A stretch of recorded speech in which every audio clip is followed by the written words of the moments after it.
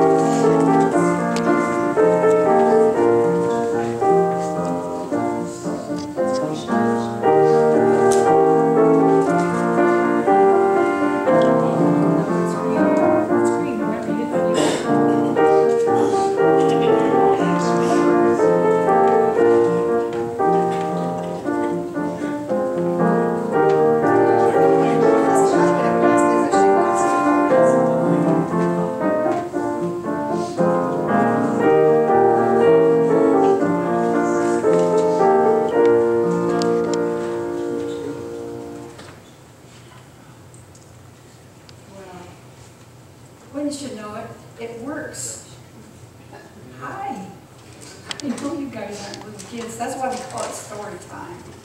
But I got something special here.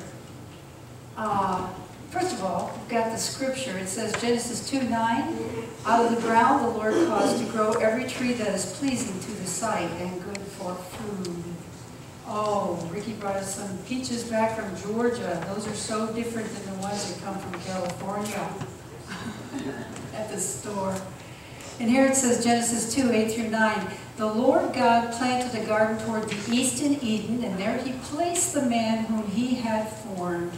Out of the ground the Lord God caused to grow every tree that's pleasing to the sight and good for food, the tree of life also in the midst of the garden, and the tree of the knowledge of good and evil. And there was the tree of life, and all the fruits of the Spirit are there, because the s- source is from the Spirit of God. But the tree of knowledge of good and evil, a lot of bad things happened after they decided to eat of that fruit. Well, this thing that I have here, Lily, right? Lily and Brianna.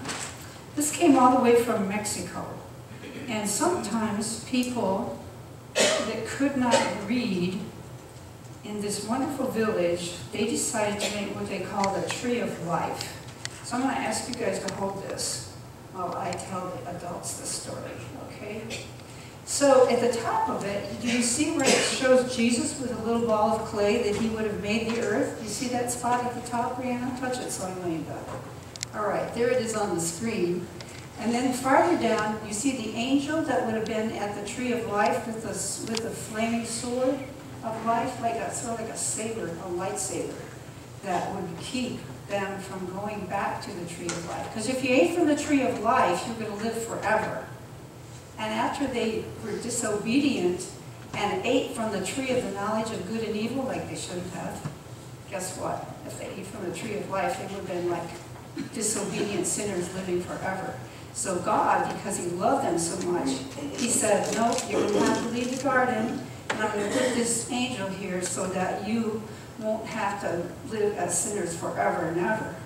That's because he loved them. Some people say he kicked them out of the garden, but that's not exactly the same. He kept them from being at the tree of life.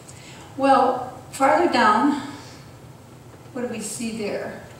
Well, let me look for another one. Those are the two little lambs that had to be, or sheep, they had to be killed as soon as they disobeyed because they were wearing some wonderful robes of light, like angels would be, glowing white robes, but it's like of light. And when they disobeyed, they lost their robes and they figured out they didn't have clothes on, so they went and got some fig leaves and they tried to cover themselves up. But that wasn't going to be good enough for living outside the garden. So God actually killed the first time there was death, was when those little lambs were killed.